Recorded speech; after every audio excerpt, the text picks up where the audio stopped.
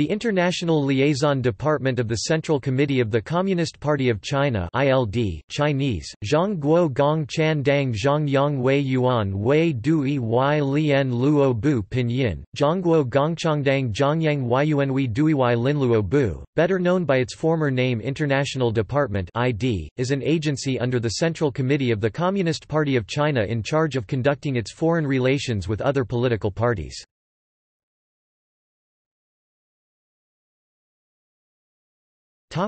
History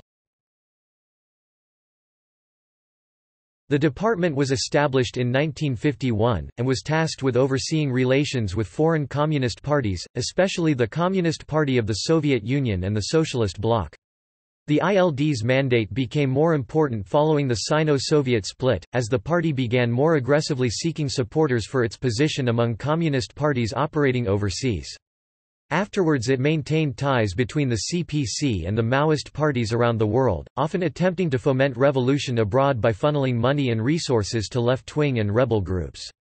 From 1962 through the first half Cultural Revolution, foreign relations were mainly conducted by Kang Sheng on behalf of the Politburo Standing Committee. In the 1980s under Deng Xiaoping, the ILD expanded its mission to include cultivating relations with non-communist parties, and shed its overtly revolutionary objectives.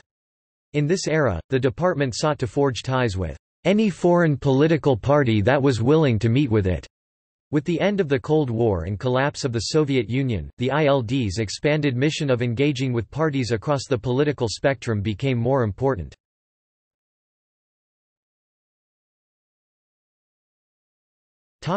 List of directors Directors of the ILD Wang Jiaxiang 1951 March 1966 Liu Ningyi acting June 1966 to April 1968 Geng Biao January 1971 to January 1979 Ji Pengfei January 1979 to April 1982 Qiao Shi April 1982 to July 1983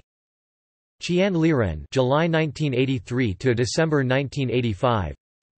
Zhu Liang December 1985 to March 1993 Li Shuzheng March 1993 to August 1997 Dai Bingguo August 1997 to March 2003 Wang Jiarui, March 2003 to November 2015 Song Tao November 2015 present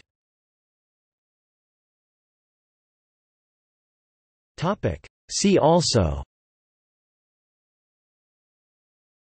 International Department of the Communist Party of the Soviet Union